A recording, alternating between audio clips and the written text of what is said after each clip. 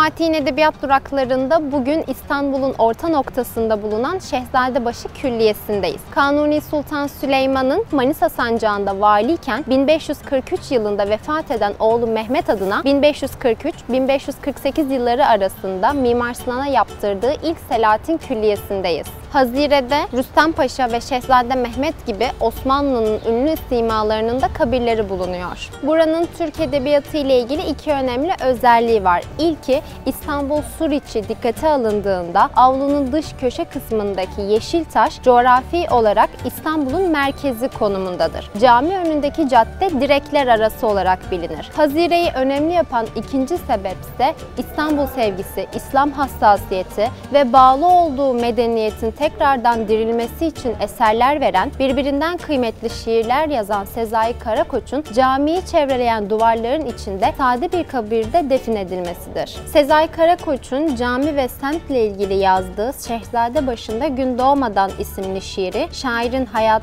estetik, sanat hassasiyetinin güzel bir örneğidir. Yoldan geçen bir çocuk, kubbeyi tutan aydınlık, mezarlarda yeni sesler, gün doğmadan Şehzade Başında.